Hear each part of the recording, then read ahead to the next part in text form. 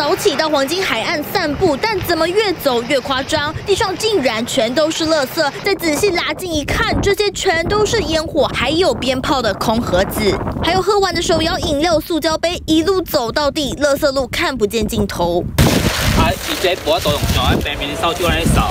环保人员戴着手套，辛苦地爬进堤防下的石头堆里，弯着腰一个一个捡。就是因为有民众抢占海景第一排，想在更靠近海边的堤防下放烟火，却不把垃圾带走。环保局总共出动了二十多位环保人员到场，短短两天就清出了将近两公吨的垃圾，实在很没有公德心。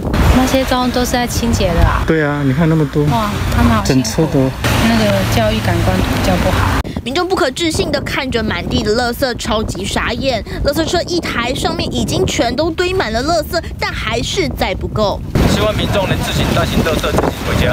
民众一时开心放炮，想要享受海风吹来火树银花刹那绽放的浪漫，却不把用完的仙女棒和烟火盒给带走，全都留给辛苦的环保人员收，实在是缺乏公德心。